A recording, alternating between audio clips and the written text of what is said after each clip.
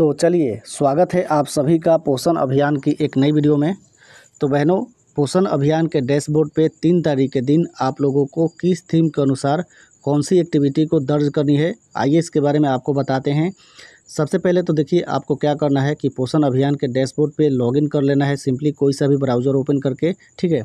Login करने के बाद यहाँ पे आप देखेंगे कि अगर आप लोगों को पोषण अभियान का जो डैशबोर्ड है जैसे कि इंग्लिश लैंग्वेज आप लोगों को समझ में नहीं आ रही है। आप जिस भी लैंग्वेज से समझना चाहते हैं, उस लैंग्वेज को आप लोग आसानी से चेंज कर सकते हैं।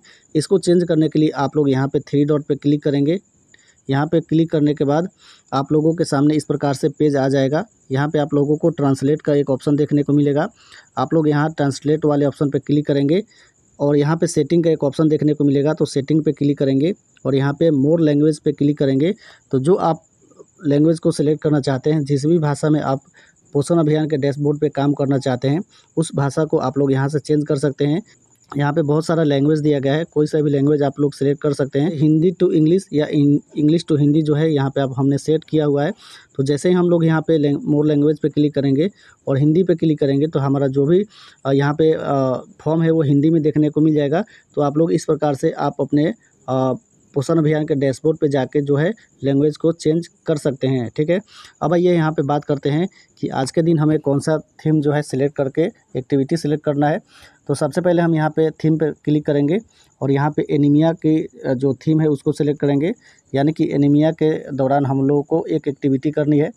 उसके बाद यहाँ पर आप लोग अपना आंगनबाड़ी केंद्र को सिलेक्ट करेंगे, यहाँ पर क्लिक करके, ठीक है?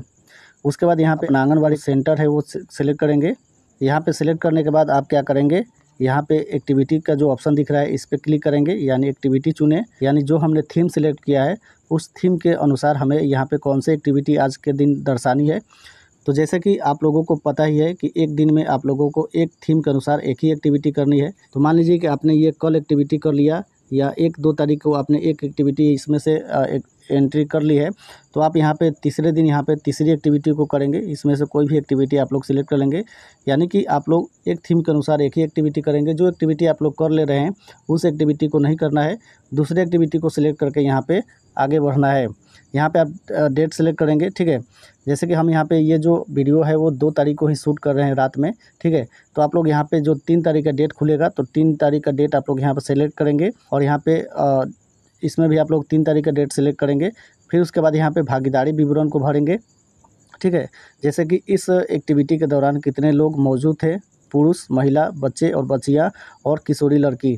तो यहाँ पे आप लोग संख्या डालेंगे। जो भी संख्या में लोग मौजूद थे वो संख्या आप लोग यहाँ पे इसको काट के यहाँ पे आप लोग संख्या को डालेंगे ठीक है इसको डालने के बाद आप लोग यहाँ पे नीचे आएँगे और चित्र अपलोड करें यानी कि आप लोग यहाँ पे कोई भी एक फ़ोटो वगैरह खींचे हैं तो उसको आप लोग यहाँ पे ब्राउज़ फ़ाइल पे क्लिक करके आप लोग इसको भर इसको अपलोड कर देंगे उसके बाद यहाँ पे विवरण दर्ज करें में आप लोग एक्टिविटी के दौरान कोई भी जो बातें हैं वो लिखनी है तो आप लोग यहाँ पर लिख सकते हैं और यहाँ पर सबमिट कर सकते हैं ठीक है तो ये एक्टिविटी आप लोग एक थीम के अनुसार कर लिए उसके बाद दूसरे थीम के अनुसार दूसरा एक्टिविटी करने के लिए आप लोग यहाँ पे विकास की निगरानी पर क्लिक करेंगे, क्योंकि एक से लेकर सात तारीख के बीच ग्रोथ मॉनिटरिंग सप्ताह मनाया जाता है तो उसको यहाँ पे सात तारीख तक भरना है, ठीक है?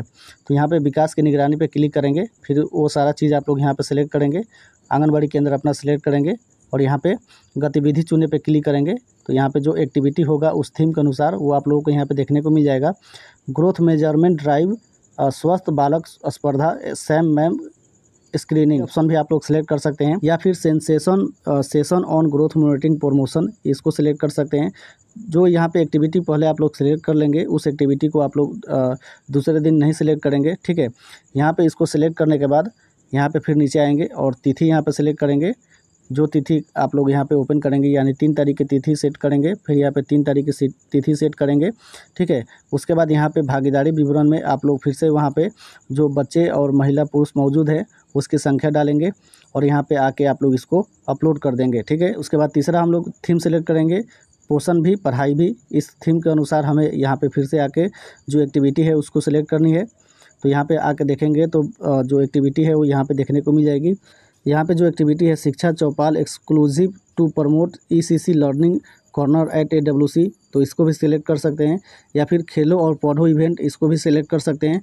तो जो आप लोग एक्टिविटी पहले दिन नहीं किए हैं उसे दूसरे दिन आप लोग यहाँ पे एक्टिविटी को सिलेक्ट करेंगे। यहाँ पे डेट को सिलेक्ट करेंगे ठीक है? फिर से डेट को सिलेक्ट करेंगे। यहाँ पे विवरण भरेंगे अ, कितने लोग मौजूद हैं इस एक्टिविटी के दौरान। अ, किशोरी लड़की बच्चे वयस्क और पुरुष महिला जो भी हो आप लोग यहाँ पे सेलेक्ट करेंगे। फिर यहाँ पे आके इसको सबमिट कर देंगे ठीक है? तो यहाँ पे तीन थीम के अनुसार तीन एक्टिविटी हो गया ठीक है? उसके बाद हम लोग चौथा एक्टिविटी यहाँ पे सेलेक्ट करेंगे चौथा थीम सेलेक्ट करेंगे। जन संवेदीकरण गतिविधियाँ। इसको सेलेक्ट करने के बाद हम लोग यहाँ पे फिर आएँगे एक्टिविटी में, यहाँ पे एक्टिविटी सेलेक्ट करेंगे। जैसे कि स्पोर्ट्स डे हो गया इम्यूनाइजेशन कैंप हो गया एंटीनेटल चेकअप हो गया अनप्राशन दिवस हो गया V H S N D health sanitisation and nutrition day हो गया। तो जो कैंप आप लोग यहाँ पे आयोजन करेंगे, उसको सेलेक्ट करेंगे या साइकिल रैली प्रभात फेरी, इसको सेलेक्ट करेंगे, ठीक है? उसके बाद डेट डालेंगे डेट डालने के बाद यहाँ पे विवरण भरेंगे, उसके बाद यहाँ पे आके नीचे सबमिट करेंगे। ठीक है? और यहाँ पे फ़ोटो आप लोग ज़रूर अपलोड कीजिएगा। अगर आप लोग इवेंट के दौरान फ़ोटो वगैरह जो कैप्चर कर रही हैं, उसको यहाँ पे ब्राउज फ़ाइल से क्लिक करके आप इसको सबमिट कर दीजिएगा। ठीक है? तो सबमिट हो जाएगा। अब आप लोगों का यहाँ पे चार थीम के अनुसार चार एक्टिविटी हो गया। अब यहाँ पे पांचवा एक्टिविटी जो है, आप लोग यहाँ पे उत्तर प्रशासन के लिए प्रौद्योगिकी ठीक है? उसके बाद यहाँ पे आएँगे एक्टिविटी चुनेंगे। एक्टिविटी में आप लोग यहाँ पे infrastructure update in Poshan tracker by supervisor अगर सुपरवाइजर के द्वारा पोषण ट्रैकर में कोई भी अपडेट के बारे में बताया जाता है तो आप लोग यहाँ पर सिलेक्ट करेंगे। ठीक है? Growth monitoring management during field visit by supervisor अगर सुपरवाइजर द्वारा ग्रोथ मॉनिटरिंग के लिए फ़ील्ड विज़िट किया जा रहा है तो उसको यहाँ पे सिलेक्ट करेंगे। या beneficiary mobile updation on Poshan tracker आप लोग बेनिफिशियरी का जो मोबाइल अपडेट है, उसको कर रहे हैं तो आप लोग यहाँ पे इस चीज़ को यहाँ पे क्लिक करेंगे, ठीक है? उसके बाद यहाँ पे तिथि सेलेक्ट करेंगे और यहाँ पे आके सारी डिटेल्स भर के कितने महिला, कितने बच्चे हैं, उसको भर के आप लोग यहाँ पे सबमिट कर देंगे। तो इस प्रकार से आप लोगों का आज के दिन पाँच एक्टिविटी और पाँच थीम यहाँ पर सेलेक्ट हो जाएगा, ठीक है? तो एक दिन में आप लोगों को पाँच थीम के अनुसार पाँच ही एक्टिविटी सेलेक्ट करना है, ठीक है? तो इस प्रकार से आप लोगों का यहाँ पे आज के दिन का जो एक्टिविटी है वो कंप्लीट हो जाएगा।